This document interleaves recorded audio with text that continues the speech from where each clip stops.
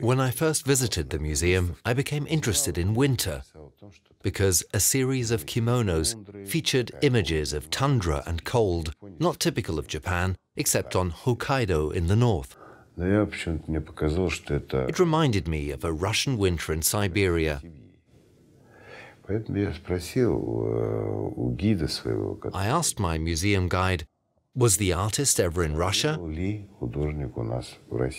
And he replied, yes, he was, and for a very long time as a prisoner of war.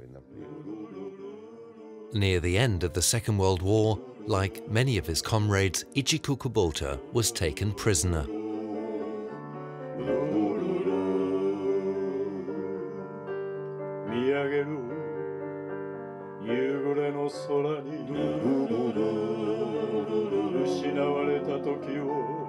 求めて今日も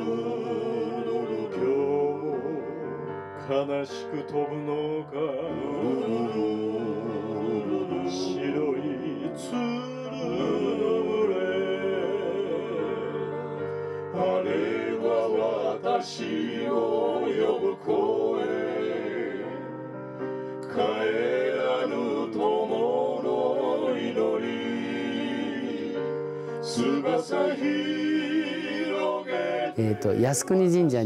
More than once, the master visited Yasukuni Temple to admire the blossoms of the sakura, the cherry trees. The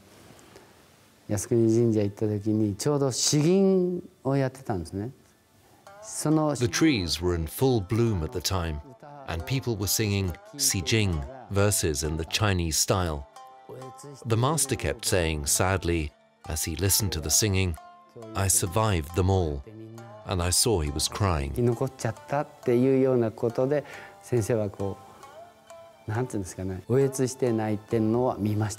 veritable blizzard of sakura petals accompanied the verses.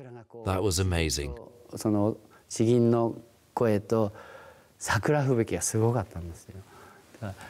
やっぱりこう自分が生き残ってきちゃったみたいな。I remember him saying to me, I've survived them. We had been captive since August, and we set off for Siberia, never having experienced the winter in Manchuria. As we walked, my feet hurt beyond all bearing. Food was scarce, and maybe that was the most painful thing. Just imagine, the soup looked and tasted more like water. We went to a collective farm for potatoes and loaded a whole lorry with them. The lorries and carts bounced along, spilling the potatoes onto the road. We picked them up, along with manure and stones, and it was only when we warmed it all up later that we knew what it was. From these potatoes, the Japanese prisoners made dumplings called dango, rubbing the tubers against graters they'd made themselves. They punched holes through metal plates and grated potatoes through them. As a prisoner of war, Narita was lucky he returned home alive. Years later, he put his reminiscences on paper and showed us his sketches. Thanks to his memories, we can imagine the conditions under which Itchiku Kubota lived. Here we are, walking to work with saws, bars, levers. It was hard to saw trees.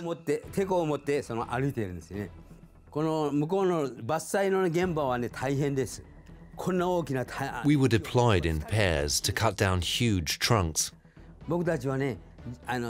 And in January, we were told that it was not a job for us and sent to help indoors. Eh, eh, we were released from that nightmare.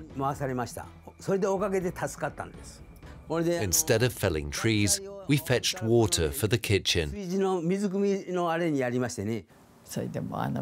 And he said his comrades died in captivity, and he didn't believe he would return home. Of course, we, who lived through that time here in Japan, didn't undergo such difficulties. But the master encountered such hardship that my eyes fill with tears every time I think of it.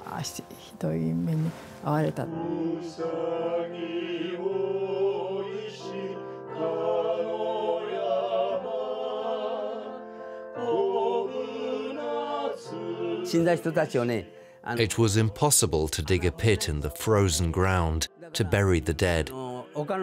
So they were put on top of the hill and covered with snow. We had nothing to give the dead, therefore we made dango dumplings of snow.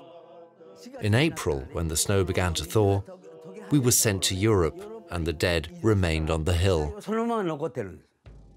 Itchiku Kubota remembered that despite all the hardship of his life in captivity, he was not cut off from his favorite activities, and they didn't include only drawing.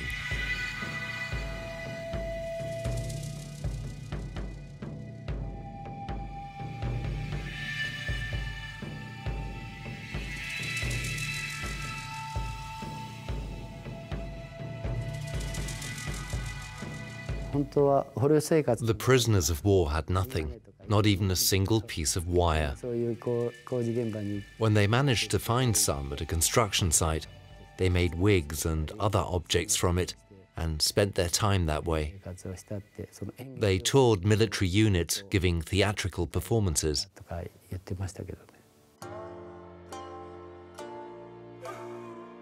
There was just one basic piece of stagecraft missing the amateur theatre had no actresses. But that was no hindrance, because in traditional Japanese kabuki theatre, all the roles are played by men. When male actors in costume and makeup entered the stage, the Russian guards couldn't believe their eyes. They were amazed each time a beautiful Japanese woman appeared on the stage.